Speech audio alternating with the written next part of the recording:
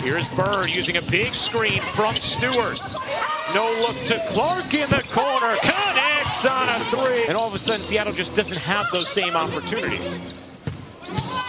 Howard, center of the lane, the hook rolls in. Everybody on Seattle getting involved in this first quarter. Emma Cannon in uh, on the post as the defender on Natasha Howard, and she's got skills in there. She can feel very comfortable, in particular, going to this right-handed hook. This is her move.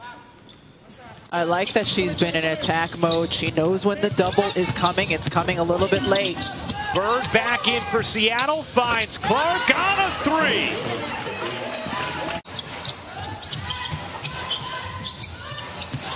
Clark dipping around McCoughtry, shovels it in with the left hand. Good minute to find the open player, but nice patience by Vegas. 50 to 50.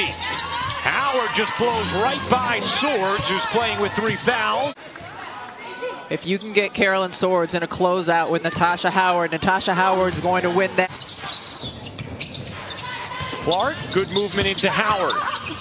Howard dipping around Wilson for the finish. Vegas will run sets for McBride to run off screens. Jewell Lloyd trying to stay with her, but McBride's going off.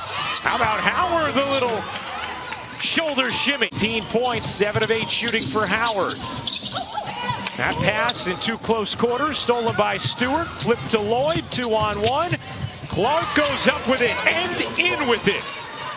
But she's able to retrieve. Great effort and energy, though, once again by Emma Cannon.